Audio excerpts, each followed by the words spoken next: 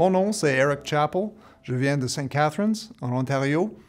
Depuis presque 25 ans, je suis contrebassiste à l'Orchestre symphonique de Montréal. Pour les étudiants qui n'ont pas beaucoup d'expérience, je veux parler juste un peu de la position du corps, parce que notre instrument est très grand. On a besoin d'une bonne position. Premier point, c'est les épaules.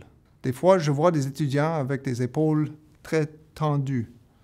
On devrait avoir les épaules assez droites, mais relax. Juste comme ça. Le deuxième point, c'est le bras gauche.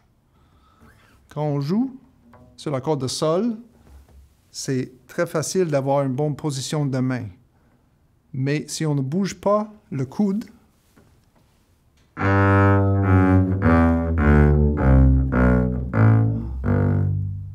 la position de main. Le main doit traverser comme ça. Alors la coude doit avancer quand on descend sur la corde de mi.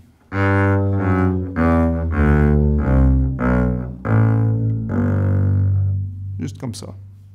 Comme pièce, je vais suggérer la troisième sonate pour violoncelle d'Antonio Vivaldi.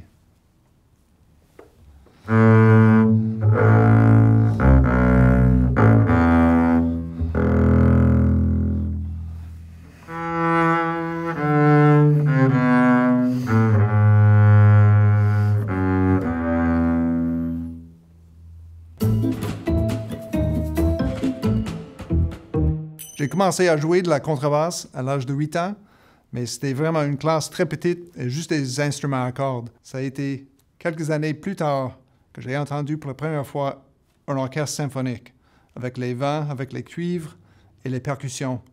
Et ils ont joué la cinquième symphonie de Beethoven.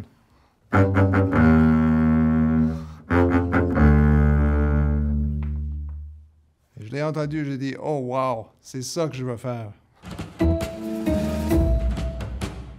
Pour les étudiants un peu plus avancés, je vais parler un peu du vibrato. Le vibrato est fondamental à la technique sur la contrebasse. Quand on joue le vibrato, on le fait comme ça. Je joue un Fa, et quand je fais le vibrato, la justesse va aller au-dessous du Fa.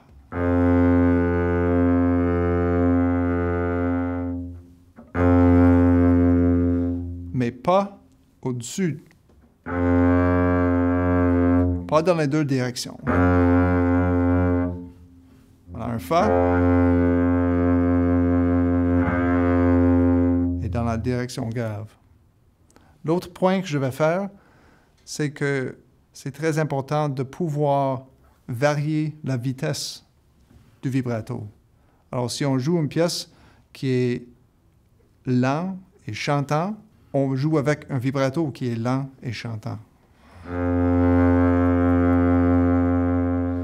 Et si on joue un mouvement de musique qui est vite, actif ou intense, on peut varier le vibrato pour aller avec la musique. Pour les élèves un peu plus avancés, je suggère une pièce de Giovanni Bottazzini, le fameux contrebassiste italien la pièce s'appelle Rêverie. Ça nous donne la possibilité de mettre en place notre travail sur le vibrato.